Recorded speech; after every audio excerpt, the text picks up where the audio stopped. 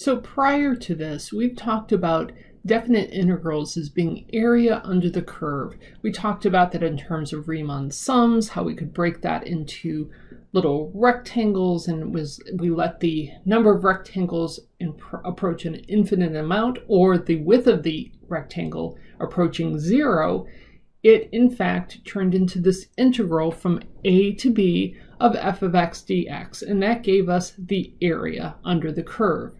Anything above the x-axis was positive, anything below the x-axis was negative. So what happens if we have two curves and we wanted to find out the area between two different curves? Something like this, for instance, where we have f of x on the top, g of x below it, and we want to know the area between the curves between two points a and b. Well, as long as f of x is greater than or equal to g of x, then the area is going to be given just like before from a to b the integral, but now it's going to be f of x minus g of x dx. Let's do a quick example. Let's say f of x equals x plus 4 and g of x is 3 minus x over 2 and we're looking at the range from 1 to 4 the first thing we need to do is make sure which function is greater. Please do not assume that just because I call something f of x that it is in fact the larger function. So go ahead and graph it. And when you graph it, you find that f of x is in fact always greater than g of x. So once we do that, we're just going to integrate. We're going to set this up from 1 to 4, again, f of x minus g of x. Remember to use parentheses. It's negative all of the g of x, not just the 3. We combine like terms. We go ahead and integrate. We evaluate at 1 and 4. And we do a little bit of arithmetic. And we finally get to the answer of 57 divided by 4 and it's of course going to be units squared. Whatever we're talking about, this is area, so it's always going to be square units. All right, so this is pretty straightforward, very similar to what we did before. But now instead of just f of x, it's now f of x minus g of x. Of course, you know it can't be that easy, right? We're going to have to worry about something else. And that something else we're going to have to worry about is what happens when these two curves cross? When two curves cross, f of x is not going to always be on top. So what we will do is take the absolute value of f of x minus g of x. This is a lot like what we did when we found net area instead of taking the positive and the negative as positive and negative, we made the negative always positive. We took the absolute value. And just like we did before, we're going to have to break this up into regions to calculate this. So let's look at another example. In this case, we have g of x being cosine of x and f of x being sine of x. And we want to find the area between these two curves between 0 and pi. You can see that they cross at the point pi over 4.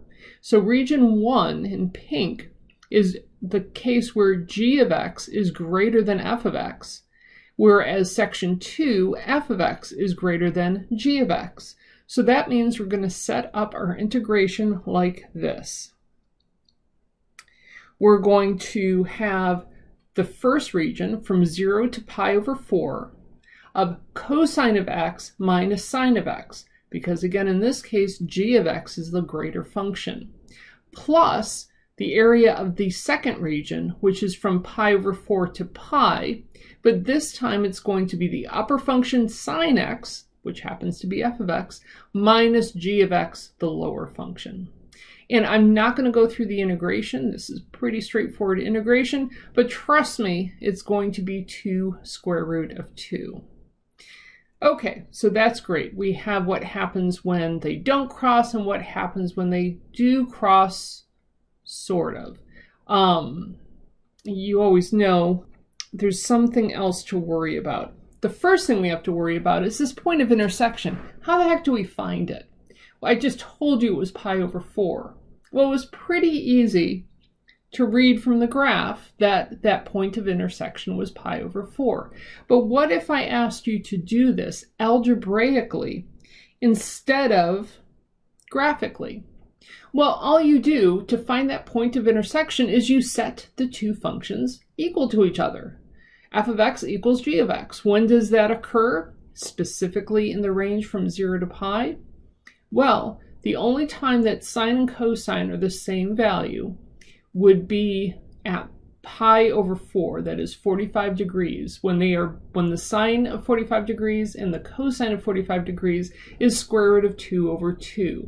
And we know this only happens in quadrant 1 because in quadrant 1 everything's positive. 0 to pi goes between quadrants 1 and 2. In quadrant 2, sine is positive, but cosine is negative. So the only place algebraically we can find that that point of intersection would be is pi over 4, which we knew from looking at the graph. Okay, so we can find the point of intersection now. Are we done? One more thing. If you have ever watched the TV, old TV show Columbo, you always know that as he was walking out the door, he'll turn around and say, one more thing, one more question. What do we do with something like this? The graphs cross, certainly, and I could find out where they cross by setting them equal to each other.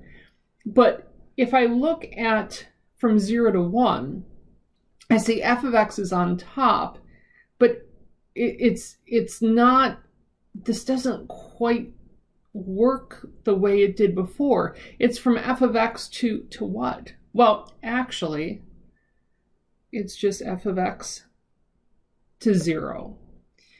When we have a situation like this, where we have two lines that are crossing, but the area below only involves one of the functions on each side, this is just like we would have calculated the area under the curve for a single curve. What we have to watch out for, of course, is what section of the curve we're going to be talking about which function. So from 0 to 1, f of x is on top. So we're going to go from 0 to 1 for f of x minus 0. Do you have to write the minus 0? No. But I just like to show that this is really what we did in Calc 1 when we were just finding area under the curve. We didn't realize it, but we were really comparing that f of x to 0. The second part of this goes from 1 to 2, and now it's g of x to 0, or g of x minus 0. So again, we'll set this up. It's a pretty straightforward problem, and I promise you that the answer is in fact 5 sixths.